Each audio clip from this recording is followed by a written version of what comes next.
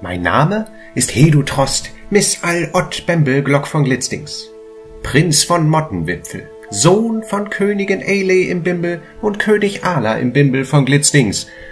Beschützer der Blüten von Hochhaselhorn und erster Begleiter des Retters vom Pilzwall, Chiroquil Weltenwächter von der Sippe des Silberbuchenwaldes.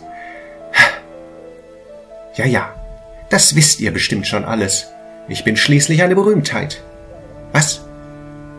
Wie? Ihr kennt mich nicht? Na dann hört. Denn das ist meine Geschichte.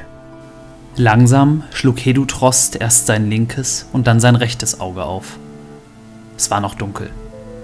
Naja, nicht so richtig. Blinzelnd versuchten sich die Augen des jungen Ferichs an das Halbdunkel zu gewöhnen. Nicht nur das kleine, vor sich hin glimmende Lagerfeuer gab etwas warmes Licht ab, sondern auch das volle Mardermal hoch am Himmel. Und noch dazu die vielen, vielen Sterne. Der Nachthimmel war wolkenlos, und durch das lose Blätterdach des kleinen Wäldchens, in dem Hedutros und seine BegleiterInnen Rast gemacht hatten, konnte man das Schauspiel des Sternenhimmels hervorragend betrachten. Der Ferich zog sich ächzend auf die Beine und reckte sich gähnend, bevor er sich weiter umblickte. Die Luft war leicht kühl. Der Tau, der sich über die Nacht angesammelt hatte, lag auf den Büschen und Gräsern und reflektierte das fahle Licht des Mardermals, welches mit dem des himmlischen Sternenzells um die Wette funkelte. Hinter Hedutrost war nun ein leichtes Schmatzen und Schnarchen zu vernehmen. Das kleine Fellknäuel, das ihn in der Nacht warm gehalten hatte, schien noch tief und fest zu schlafen. Nie hätte er gedacht, dass er eines Tages seinen Kopf zur Ruhe in das Fell dieses Biests, das einmal seine Heimat unsicher gemacht hatte, betten würde. Aber Kar, der kleine Hund, der sie seit diesen Ereignissen begleitete, war ihm inzwischen irgendwie ans Herz gewachsen. Mit der Zeit. Angst musste man vor Kar wirklich nicht haben. Sein Blick wanderte weiter und nahm nun die beiden großen BegleiterInnen wahr – die beiden Elfen Osakiel Wächtersucherin und Shirokiel Weltenwächter saßen in einem möglichst großen Abstand zueinander und doch so nah wie möglich am Feuer. Osakiel, die Auelfe, die sie in Rutor kennengelernt hatten, wiegte sich sanft mit der Melodie, die sie auf ihrer kleinen Fiedel spielte. Eine Melodie? Ja, da war eine Melodie. Hedotrost konnte sie erst jetzt hören, Sie passte sich perfekt dem Rauschen des Windes, dem Prasseln des Feuers, dem Zirpen der Grillen, dem Schnarchen von Kar und dem Rascheln des Blätterdachs an. Es schien, als würde der Wald selbst gemeinsam mit Osakiel eine Symphonie spielen. Fasziniert blickte der Ferich die Auelfe an. Das Glitzern des Taus, das direkte Licht des Mardermals und das flackernde Licht des Feuers umrahmten die Elfe harmonisch in fast perfekter Weise. Sie schmiegte sich in das Bild ein, verschmolz mit ihrer Umgebung, ohne unsichtbar zu werden, wie Chirokil es so oft tat. Hedutrost merkte gar nicht, wie ihm vor Bewunderung und vor Verzückung die Kinnlade herunterfiel. Als Feenprinz hatte er schon so manche schöne Szenerie gesehen, doch dieses Schauspiel hier war wie aus einem Traum. Wieder rieb er sich die Augen und blinzelte über das Feuer zu seinem Freund Chirokiel. Dieser saß im Schneidersitz völlig regungslos da.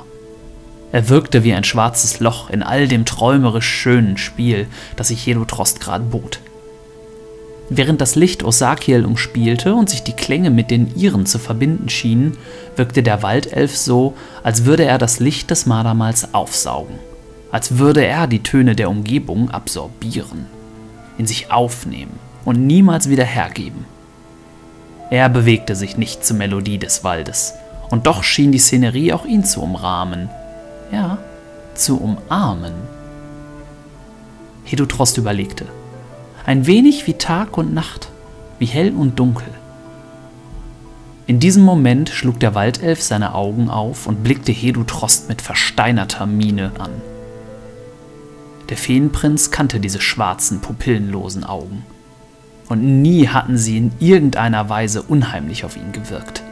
Im Gegenteil, Chirokil und er waren ja die besten Freunde und er kannte den Elfen fast seit er aus dem Licht getreten war. Aber dieses Mal durchzuckte selbst ihn ein leichter Schauer. Schon wach, alter Freund? Äh, was? Äh, ja. Hm. Wie früh ist es denn?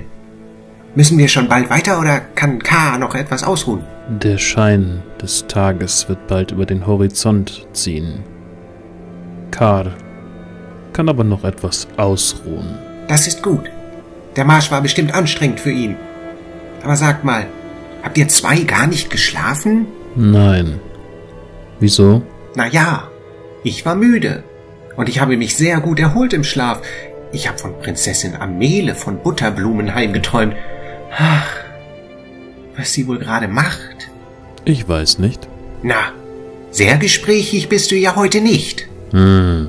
Träumst du nie von irgendwelchen Lieben? Wenn du denn mal schläfst? Ich träume von meiner Mutter und vom Silberbuchenwald. So wie er einmal war. Verstehe. Ich vermisse ihn auch. Aber sag mal, hast du dich, während ich geschlafen habe, mit Osakiel unterhalten? Sie spielt das Lied. Das höre ich. Aber das war nicht meine Frage. Moment. Sie spielt schon die ganze Nacht? Ja. Sie hat begonnen kurz nachdem du eingeschlafen bist. Aha. Und hast du mitgespielt? Das Lied klingt schön. Nein. Warum nicht? Hör doch mal. Ah, so lieblich. Als würde der Wald selbst mitsingen. Einfach fantastisch. Ich beneide euch Elfen ja um euer musikalisches Handwerk. Ich kann ja nicht mal die Pauke schlagen. Ich möchte ihr Lied nicht stören. Was? Du spielst doch auch sehr schön. Ich bin sicher, sie hat nichts dagegen. Hast du sie gefragt? Nein. Ach, warum nicht? Angst, sie könnte deine Musik nicht mögen? Ihr Lied verbindet sich wie von selbst mit dieser Welt. Sie hat eine Bindung. Das Lied fragt nach allen anderen und lädt dazu ein, in die Melodie einzustimmen. Ich müsste also nicht fragen.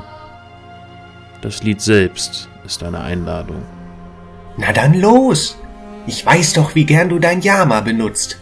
Nein, Och, jetzt lasst dir doch nicht jeden Fetzen aus der Nase ziehen. Habt ihr euch gestritten? Magst du ihr Lied nicht? Was ist los? ich bin ein Ausgestoßener. Ich habe das Badok. Wenn ich in das Lied einstimme, dann werde ich es vergiften mit meiner Melodie. Bardock. Ja. Ach, komm schon. Würde sie diese Einladung nicht spielen, wenn sie sich dessen nicht bewusst wäre? Ihr Volk ist unvorsichtig. Sie ist unvorsichtig. Naiv. Die Melodie zeigt es. In all ihrer Schönheit singt sie kaum noch vom Traum, sondern nur von dieser Welt. Sie bringt den Traum zwar hierher, aber sie kennt ihn kaum noch. Das Badok der Rosenohren ist schon tief verwurzelt in ihrem Sein. Na, dann macht es doch dein Lied nicht schlimmer. Komm schon, schnell! Bevor sie aufhört, wenn der Morgen anbricht. Du verstehst es nicht, alter Freund. Wenn ich mitspiele, dann wird ihr Lied nie wieder dasselbe sein wie in dieser Nacht. Na, vielleicht will sie das ja so. Sonst würde sie ja nicht einladen, mitzuspielen. Sieh mal, Veränderung ist doch nichts Schlimmes. Doch, ist sie. Wenn das Lied sich ändert, dann änderst du dich auch. Und ich möchte nicht, dass sie sich ändert. Nicht wegen mir. Nicht mit dem Badok, das in mir steckt. In diesem Moment verstummte das Fiedelspiel der Auelfe und es kam Hedutrost so vor, als würde ein Teil der Wirklichkeit fehlen. Das Spiel hatte dafür gesorgt, dass auf ihrer Lichtung das Sein in einem schönen Einklang war. Nun, da Osakiel aufgehört hatte, wirkte alles mit einem Mal dumpf, hart und irgendwie fern. Nur die ersten Strahlen des Aufgangs der Preios-Scheibe durchschnitten das dumpfe Gefühl und brachten neues, anderes Leben auf diese Lichtung. Och, Fräulein Osakiel, spielt doch weiter, bitte. Sanyasala Feyama. Guten Morgen, kleiner Feenprinz. Habt ihr schöne Träume gehabt? Oh ja, ich. Aber bitte, bitte spielt doch weiter. Ich nehme das mal als Kompliment. Aber ich denke, es reicht für heute. Schaut, es wird hell.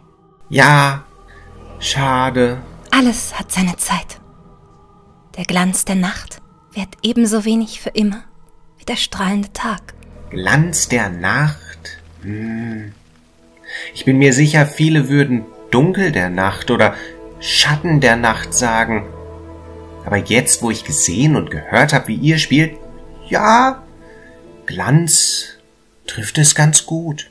Der Glanz ist dort, wo das Lied durchdringt, kleiner Prinz.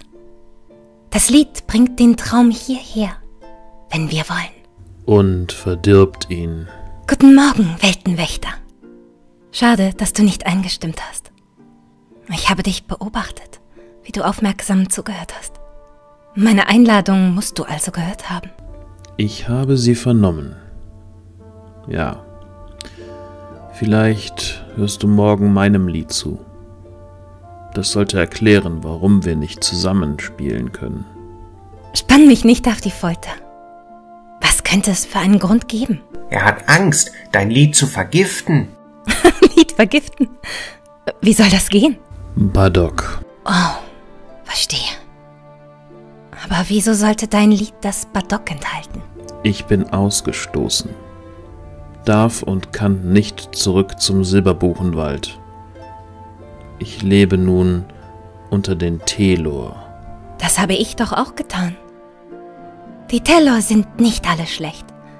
Ich glaube, das hast du auch gemerkt. Ja, die Rotbärte waren doch ganz nett. Sogar der Zwerg. Hast du ihm nicht zum Abschied sogar eine Eichel vom Eichenkönig geschenkt? Ja, hab ich. Und ja, sie war nett. Ebenso war es Lucidin vom Tann. Doch wenn mich meine Ältesten eins gelehrt haben, dann ist es, dass das Badok nicht bemerkt wird. Es kriecht durch deine Adern und vernebelt dein Denken. Die Telor bringen es mit sich und machen alles um sich herum krank. Und man bemerkt es nicht, ehe es zu spät ist. Das bedeutet, ich bin bereits infiziert. Jetzt mehr denn je. Aber der Eichenkönig hat gesagt, dass wir Lucilin vertrauen können. Ja, das hat er. Der Rat im Silberbuchenwald hat es kommen sehen. Sie schickten mich aus mit der Aufgabe, das kommende Übel abzuwenden. Das, was den Traum für immer zerstören wird. Der Eichenkönig wusste das. Was ist die Krankheit eines einzelnen Fey gegen die Zerstörung des Traums? Ich glaube, du siehst das Badok als zu mächtig an. Glaub mir, mein Volk lebt seit vielen, vielen Zyklen in der Nachbarschaft mit den Tellor. Und ja, sie sind zum Teil zerstörerisch, aber sie bringen auch Gutes.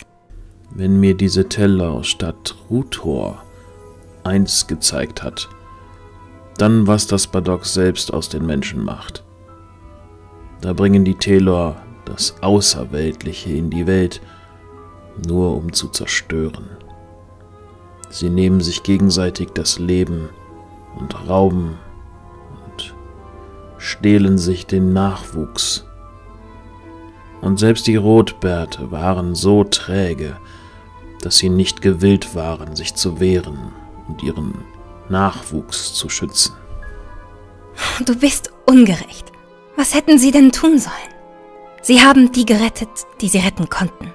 Sie haben nicht einmal versucht, das finstere Schiff zu erreichen. Ihnen war die Sicherheit ihrer Anführer und deren Worte mehr wert als der Instinkt, die Unschuldigen zu retten. Also, ich habe ja nicht viel mitbekommen in Rutor, aber das Finsterschiff war riesig und die Außerweltlichen auch. Und sie waren stark. Ich glaube, Osakil hat recht. Sie haben ihr Bestes getan, um zu retten, was zu retten war. Der Bucklige und die Seinen waren im Vorteil und haben Rutor unvorbereitet getroffen. Sie hatten keine Wächter. Wie kann man seine Heimat ohne Wächter lassen? Hast du gesehen, wie riesig das große Blau vor der Stadt war? Und sind wir nicht Madamals Kreislauf um Madamals Kreislauf durch die Welt geschritten und haben gesehen, wie groß hier alles ist? Es ist nicht möglich, alles zu schützen. So viele Wächter haben sie gar nicht. Rutor ist nicht der Silberbuchenwald, Weltenwächter. Hm. Woher weißt du eigentlich, dass die Telor alle Bardock sind und dich infizieren? Man kann es spüren. Sie kommen von außen und bringen das Zerzer. Also ist es, weil sie von draußen kommen? Also von da, wo wir jetzt sind? Und alles, was von hier kommt, ist Bardock? In etwa. Ja. Also bin ich auch Bardock. Ich bin jahrelang in den Silberbuchenwald gekommen, von außen, vom Pilzwald. Und du hast mich als Wächter stets eingelassen und keine Angst vor mir gehabt? Du warst anders. Inwiefern? Du kanntest das Lied des Waldes. Es ist in dir, ebenso wie das Lied in Lucelin war. Ich weiß nicht wie und warum, aber ich kann es spüren. Und das Lied ist nicht in mir oder den Rotbärten, die wir von hier kommen? Ja, genau. Sie ist doch auch eine Fee. Hättest du sie eingelassen? Vermutlich. Unter Umständen. Aber nicht für lange. Das verstehe ich nicht. Wieso? Ich komme doch genauso von außen und in mir ist das Lied genauso wie in ihr. Und doch hast du mich geduldet und sie nicht? Du bist anders. Wie anders? Du bist kein Telor. Und du warst nicht bei ihnen oder mit ihnen. Du bist mein Freund. Und du bist ein Ski. Also sind wir nur Freunde, weil ich ein Ski bin? Ja? Und was ist mit Karl? Was soll mit ihm sein? Naja, weißt du, ob er nicht Kontakt mit den Teller hatte? Ob er Badok ist? Er ist ein Hund. Also verurteilst du die Tellor nur, weil sie Tellor sind? Telor bringen nie Gutes. Ich glaube, du und dein Stamm habt Angst vor den Tellor. Ja, das haben wir.